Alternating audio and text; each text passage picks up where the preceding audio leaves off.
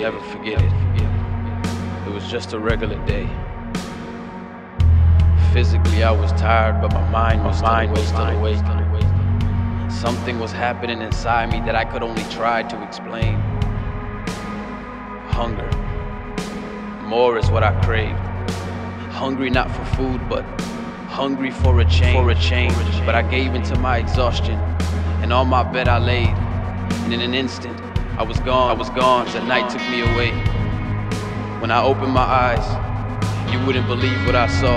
I saw more than I was used to seeing. The sky was blue, the grass was green, the sun was out and more than beaming. My heart was racing and my lungs were breathing. My bones were thriving, soul receiving. I stood in wonder in a place of dreaming. In this time, I found my meaning. This is where I was supposed to be. Filled in life as I jump to scream. running with a passion completely free. Eyes realigned on the greatest thing. This is how life is supposed to be.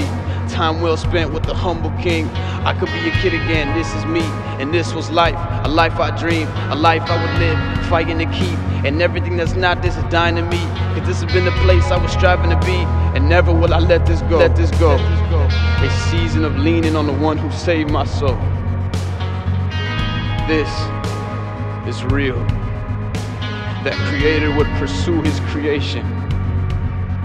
This is zeal, zeal, zeal.